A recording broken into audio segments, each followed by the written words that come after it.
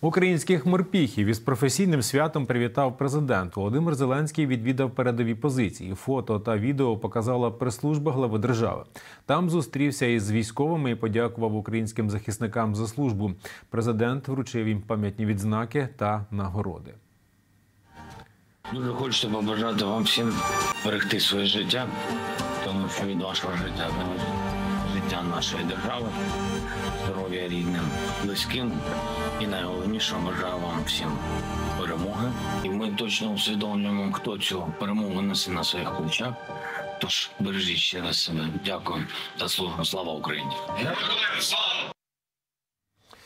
Із днем морської піхоти українських бійців привітав головнокомандувач збройних сил Валерій Залужний. Він подякував за професіоналізм та стійкість захисникам, які несуть службу на землі, на морі та у повітрі. на землі, на морі, у повітрі. Бути готовим вступити в бій за Україну. Не здаватися, не відступати, не залишати побратима у біді. Битися заради перемоги вірно і до кінця. З честю пронести крізь життя вірність морській піхоті.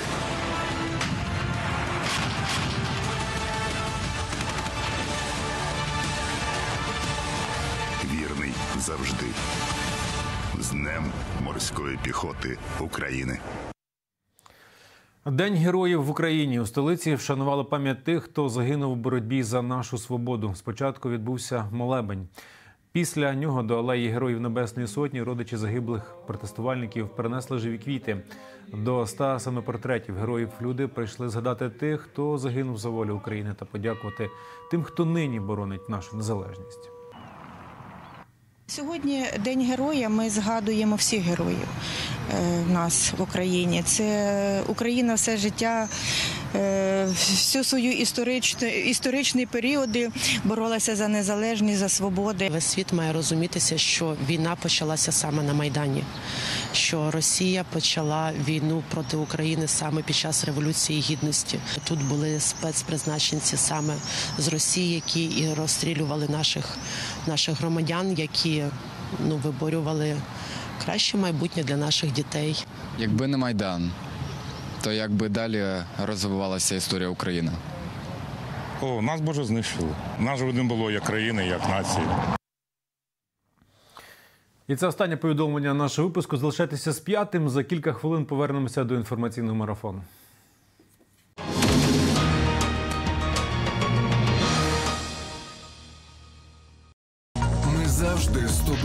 І вдень, і в темряві, і в холод, і в спеку. Підпишись на Ютуб п'ятого каналу і спонсоруй інформаційний фронт. Тримай зарядженим свій смартфон і мозок. Перемагай! Завантажте мобільний додаток Голосу Америки. Додаток дозволяє автоматично обходити блокування завдяки вбудованому VPN-сервісу. Читайте новини, дивіться інформаційні програми та відео, а також слухайте подкасти Української служби Голосу Америки.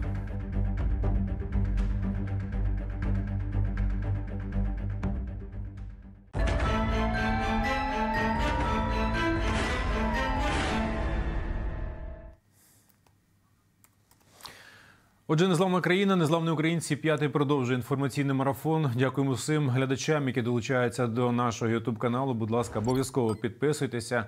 Майте на увазі, що для ваших потреб є ще наш телеграм-канал, Фейсбук-сторінка, інстаграм-сторінка, повноцінні якісні інформаційні ресурси, завдяки яким ви знатимете про всі головні події в Україні та світі. Ну а на нашому Ютубі, окрім наших марафонів і стрімів, матимете нагоду ще переглядати велику кількість авторських проєктів, де ми розповідаємо про все що стосується України, про все, що стосується нашої оборони, про все, що стосується наших героїв, власне, яка допомога їм потрібна. Зараз почнемо спілкування вже з нашими гостями-експертами. Дарина Підгорна, юристка громадського об'єднання, регіональний центр прав людини до нас долучається. Вітаю вас, Дарино.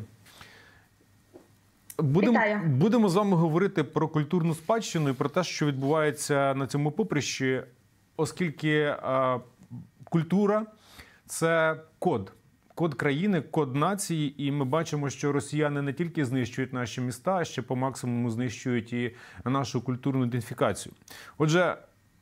Є інформація про те, що розкрадають Бердянський художній музей імені Ісака Бродського. В першу чергу вивозять звідти картини Айвазовського, Бенуа, інші важливі експонати. Що з цими експонатами буде далі? Як зупинити цю от, е, це пограбування фактично культурне? Е, Чудове запитання. Насправді е, росіяни буквально на кожній території, які вони окуповують, першим ділом шукають саме культурні цінності українські, шукають е, тих, хто пов'язані з цими цінностями, працівників музеїв і тому подібне. На жаль, єдине, що вони роблять, це вивозять їх в даний момент на територію Криму, який теж знаходиться під окупацією. І зв'язок е, з цими експонатами надалі втрачається буквально, оскільки вони або осідають на території Криму в е, фондах кримських музеїв, або їх надалі транспортують на територію Російської Федерації, де їх е, ховають в російських архівах, до яких доступу фактично не існує, абсолютно не існує. От інформація ще є про робить Да, да, будь ласка, продовжуйте, Дарин. Е, ну, як ви вже казали, це абсолютно робиться для того, щоб знищити українську культуру, я таку, як для того, щоб пере е, доступ до культури, до будь-яких розвитку, до збагачення був перекритий на багато багато років вперед, і для того, щоб Україна як окрема держава, як окрема нація не змогла розвиватися надалі, оскільки втрачені величезні обсяги культурних цінностей, історії і мистецтва і тому подібне. От е, є знову ж таки інформація про розграбування Херсонесу Таврійського в Криму і вивезення артефактів до Великого Новгорода. Ну і власне вони там продовжують ще якісь розкопки. Що вони шукають там? Що вони там ще длубаються і риють? Якби ж вони тільки шукали, але насправді єдине, що вони роблять, це руйнують е, абсолютно руйнують цю пам'ятку, цю унікальну унікальне городище. Буквально можливо, знаєте, можливо, чули. Буквально наприкінці зими вони вирили величезний котлован, який заповнили водою і зруйнували цілісну картину Арсенесу Таврійського. Це абсолютна втрата, і буквально на днях з'явилася інформація, що вони знову щось відкопали і вже транспортують на територію Російської Федерації для знов таки ж знищення української культури і будь-яких можливостей для її подальшого відновлення і розвитку. Е, Єдине, що вони зараз е, вони дійсно там проводять декілька розкопок. Вони дійсно там е, запланували собі щонайменше п'ять археологічних експедицій. Про це все відомо з відкритих джерел, особливо з реєстрів, де вказані дозволи на проведення археологічних розкопок відповідно до їхнього законодавства. Однак в яких обсягах що саме вони викопують, нам невідомо, оскільки це станеться лише через 2-3 роки, коли вони опублікують звіти про проведені археологічні розкопки і розмістять їх в публічний доступ. Навіть ті розкопки, які проводилися буквально 2-3 роки назад, інформацію про них, про їхні результати, ми дізнаємося лише зараз, і лише постфактум, коли ми розуміємо, що дійсно щось пропало з е, території музею, з його фондів, е, про те, що було вирито з е, недр самого Херсонесу Таврійського.